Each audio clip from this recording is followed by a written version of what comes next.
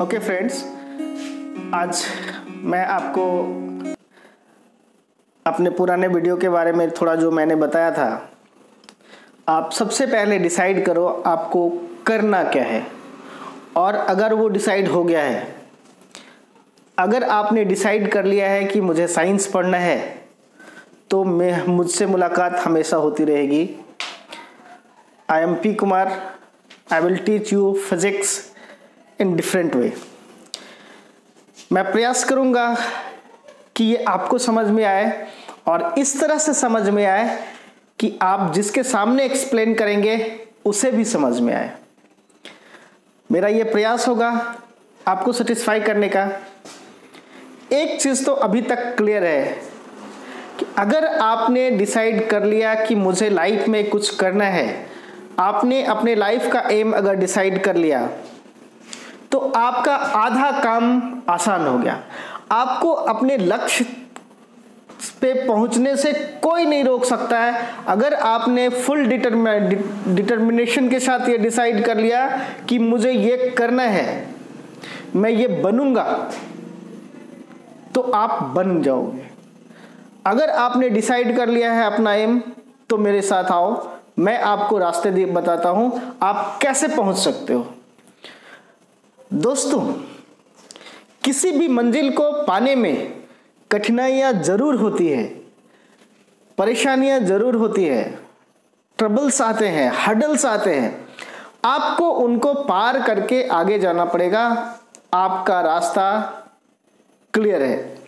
आप एक बार डिसाइड कर लिया आपने कि मुझे आगे बढ़ना है, आपको कोई रोकने वाला नहीं है। अभी तक आपने क्लास टेन का जो भी कुछ पढ़ा, जितना आपने स्ट्रगल किया, जितना आपने मेहनत किया, वो बहुत था। वो एक संघर्ष से कभी कम नहीं था, लेकिन अब याद रखना पड़ेगा कि ये संघर्ष अब और स्ट्रांग हो गया है। मैं एक छोटा सा आपको एग्ज़ाम्पल बताता हूँ। आप थोड़ा मेरे साथ आओ। आपने six seven eight nine ten ऐसा सब पास किया।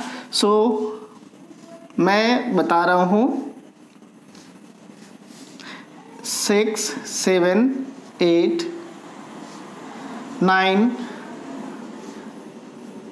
ten अब की जो आपका स्टेप है दिस इज़ एलेवन बस आपको समझ में आ गया होगा कि क्लास सेवन से एट एट से नाइन नाइन से टेन बाय डिफ़ॉल्ट आप जा रहे थे, यहाँ ऐसा कुछ नहीं है। टेन के बाद जो इलेवन का स्टेयर्स है, जिस पे आप आगे बढ़ रहे थे, आप जिस पे मूव कर रहे थे, वो थोड़ा हाइट ज़्यादा है। आपको अपने में इतना पोटेंशियल रखना पड़ेगा कि आप वो जंप कर जाओ।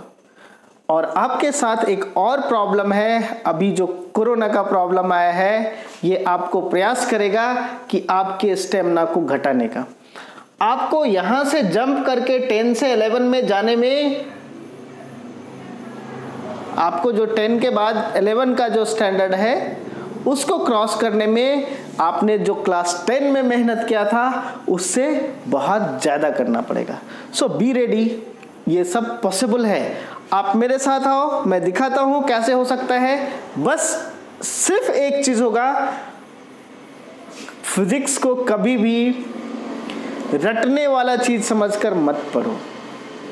फिजिक्स का जो कंसेप्ट है फिजिक्स जो चीज़ है, वो बताता है कि हर कुछ everything every phenomenon in this universe has a reason कोई भी चीज़ ऐसे ही नहीं हो जाता है, उसके पीछे कुछ ना कुछ रीजन है। So you have to find the reason why it happens आपने अगर वो पकड़ लिया, आपके माइंड में वो बैठता जाएगा और आपको प्रॉब्लम का सॉल्यूशन भी मिलता जाएगा। आप स्टेप बाय स्टेप चलो। मैं आपको बताता हूँ, मैं थोड़ा बता दिया कि ये बहुत टफ है। उतना भी ज़्यादा टफ नहीं है कि आप शुरू में ही परेशान हो जाओ बट आप ये देखो कि आपको कैसे ये ट्रैवल करना है। अगर हमारा टारगेट हाई हो, अगर मुझे हिमालय पढ़ना, पे चढ़ना है तो मुझे उसकी तैयारी भी वैसे ही करनी चाहिए ताकि मैं लास्ट तक पहुँच सकूँ। तो आप देखो, आप कैसे कर सकते हो? मुझे उम्मीद है कि आप अगर मेहनत करें तो कभी पीछे नहीं हटोगे। आप इससे बड़े बड़े हर्डल्स को पार करोगे और वो यूँ होता जाएगा। Okay now the next question is what you have to study what is the best way to study सबसे पहले मैं आपको बता रहा हूँ, अगर आप क्लास 11 को देखते हो, मेरा एम सिर्फ़ 11 पास करना नहीं है। आपके पास इतना नॉलेज आ जाना चाहिए कि आप उसके पैरेलल क्लास 11 का जो सिलेबस है आईआईटी के लिए या इंजीनियरिंग के लिए या मेडिकल के लिए, आप उसको भी सीख लो। ल्यूसिड वे में धीरे धीरे हम लोग करेंगे। मैं सबसे पहले आपको बताता हूँ, हम लोग जो बुक फॉलो करते हैं या जो बुक आपके लिए इंपॉर्टेंट है, उनमें से सबसे पहला एन ये देखने में छोटा है, लेकिन काम, बड़े काम की चीज़ है। Second number H C Verma. NCERT का भी दो पार्ट है क्लास 11 के लिए। एच सी वर्मा का एक पार्ट है क्लास 11 के लिए, एक पार्ट है क्लास 12 के लिए। तो आपको स्टार्टिंग में H C Verma part one लेना चाहिए and part one part two दोनों लेना पड़ेगा बट स्टार्टिंग में पार्ट वन ही आप ले लो ओके और अगर कुछ एक्स्ट्रा ऑर्डिनरी चाहते हैं, आप बहुत स्ट्रगल करने वाले हैं, आप बेटर हैं अदर से तो आपके लिए मैं ऑप्शन बताता हूँ that is DC Pandey and some questions of I E E Irodov basically I E Irodov एक रशियन बुक है, जो इंडिया में टेक्नोलॉजी इन्हेंसमेंट के लिए स्टडी पर्पस के लिए रशिया से इंपोर्ट किया जाता है। आप उसके क्वेश्चंस को भी बना सकते हो बट अगर आपने ये कंप्लीट कर लिया गुड आपने इसके साथ ये भी कर लिया वेरी गुड और अगर ये दोनों कर लिया तो मुझे लगता है डीसी पांडे में आपको प्रॉब्लम नहीं होगा। एक दो क्वेश्चन होंगे, वो आप कर सकते हो। ये अगर अगर इतना आपने कर लिया है, आप मेडिकल एंट्रेंस कंप्लीट कर सकते हो मेडिकल क्वालिफाई कर सकते हो।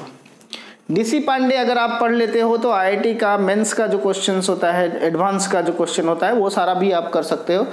ये हेल्पफुल है। ये इसके सारे क्वेश्चन आपके स्कोप में नहीं आता है।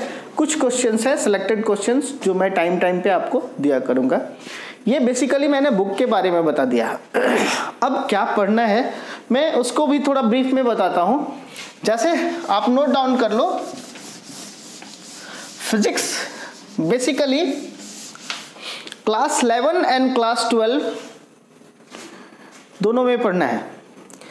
क्लास 11 12 में अगर हम कंपेयर करें तो क्लास 11 का फिजिक्स थोड़ा हार्ड है। क्लास 12 का थोड़ा और हार्ड है। ओके तो आप कौन कौन से चैप्टर्स है, क्या है? वो सबसे पहला जो चैप्टर है, वो है unit and measurement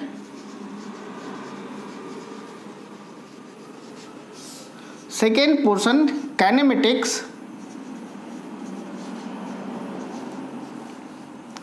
Third dynamics. Fourth properties of of material.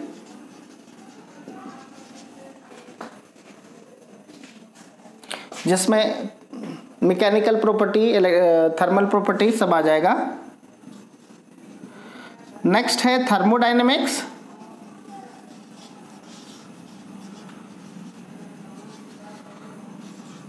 waves and seventh light बस इतना ही है, ये सारे चैप्टर में आपका क्लास 11 कंप्लीट हो जाएगा। और अगर आप क्लास 11 ये ये आपने ऑलरेडी पहले भी पढ़ा है। इसमें कुछ चीज़ें आपको नहीं मिलेंगी लेकिन आपके दिमाग का वो पूरा कन, पूरा कंसेप्ट ही चेंज कर देगा जो आपने अभी तक पढ़ा है। जो भी आपने पढ़ा है वो बस ब्रीफ ओवरव्यू था। अब आपको पता चलेगा कि समुद्र कितना गहरा होता है। अगर आप कंपटीशन पॉइंट ऑफ़ व्यू से देखते हैं, आप अगर नॉलेज पॉइंट ऑफ़ व्यू से देखते हैं तो आपको बहुत कुछ दिखाई देगा। और जो सिंपली पास करना चाहते हैं इलेवन ट्वेल्व उनके लिए उतना मेहनत की ज़रूरत नहीं है। एक ये बुक काफ़ी है, उससे भी ज़्यादा है।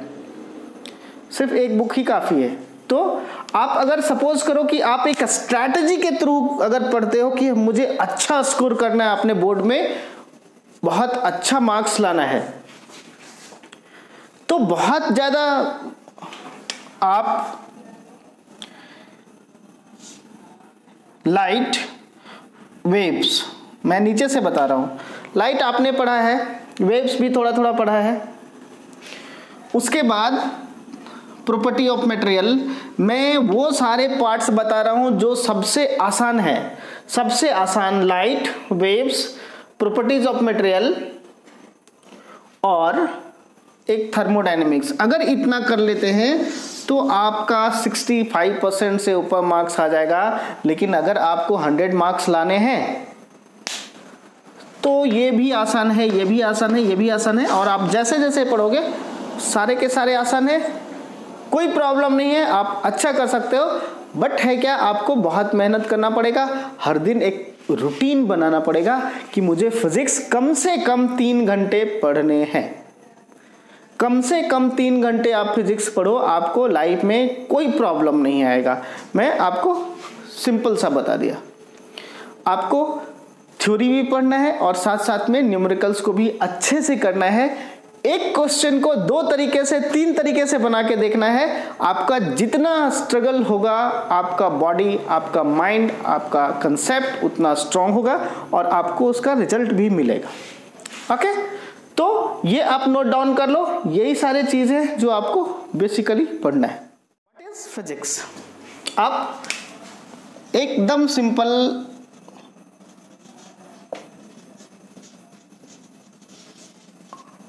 मैं एक बात आपको और बताता हूँ।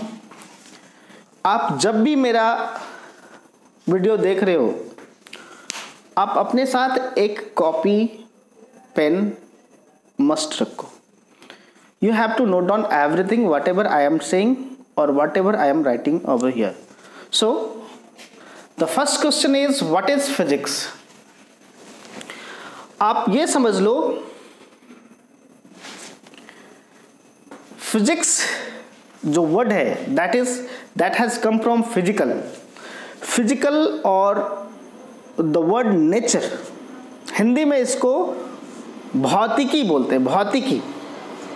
बेसिकली अगर कोई फिनोमिनन है इस नेचर में, ये जो नेचर है, जिसमें हम लोग रह रहे हैं, सब कुछ प्रेजेंट है, उसका कुछ रूल एंड रेगुलेशंस है, कुछ भी, कुछ, हमेशा कुछ ना कुछ होता रहता है। नेचुरल फिनोमिनन्स है there are number of phenomenons that occurs regularly और टाइम टू टाइम जैसे every day there is a sunrise and at that end there is evening there is sun, uh, sunset. Sometimes you see rainbow in the sky. Sometimes there is earthquake. And sometimes volcanic eruption. Everything that is occurring in this nature has certain reason. And what does physics says? Physics helps you to find the reason why it happens. ये बताता है, ये physics बताता है कि कोई भी चीज़ अगर हमारे हमारे सराउंडिंग में कुछ भी हो रहा है, अगर मॉर्निंग हो रहा है, शाम हो रहा है, धूप बढ़ रहा है, बारिश ज़्यादा हो रहा है, ठंडा ज़्यादा बढ़ रहा है, सब कुछ ज़्यादा हो रहा है, जो कुछ भी आप देखते हो, ठंडी के टाइम में ठंड बहुत होती है, गर्मी के टाइम में गर्मी बहुत होती है, अगर अगर धूप ज़्यादा हुआ तो वेपोराइजेशन ज़्यादा होता है, बारिश ज़्यादा होता है, बारिश कम होता है, हर कुछ को होने के पीछे एक ना एक रीज़न है और वो रीज़न साइंस बताता है। अभी का सिनेरियो में जो आपने देखा है, कोरोना का प्रकोप चल रहा है COVID nineteen people are thinking why it is happening हम इसको कैसे कंट्रोल कर सकते हैं? ये सारा सब चीज़ कहाँ से आता है? ये जो भी अगर उसके लिए एंटीडोट बनाया या या वैक्सीन बनाया या टेस्टिंग किट बनाया all these comes from physics अब बोलो फिजिक्स का है ये? फिजिक्स का इसका क्या रोल है? मैं आपको एक्सप्लेन करता हूँ। सब चीज़, कोई भी चीज़ अगर basically physics is study of phenomenon of nature nature में जितनी भी तरह के फिनोमिनन्स हो रहे हैं, उनका स्टडी उनके लिए क्या परफेक्ट रीजन है वाई इट इज़ हैपनिंग ये मुझे फिजिक्स बताता है। आपको फिजिक्स में आप कोई भी नेचर का फिनोमिनन ले लो, आप उसको सर्च करो, ये कहाँ से आ रहा है तो आपको फिजिक्स हेल्प करेगा कि उसके पीछे एग्जैक्ट रीजन क्या था? वाई इट इज़ हैपनिंग क्या हम अगर अगर सपोज़ करो कि कभी वोल्कोन वोल्केनो हुआ या कुछ कुछ भी अगर फ़िज़िकल फिनोमिनन होता है तो आप उसको फिजिक्स उसको एक्सप्लेन करता है। Okay okay?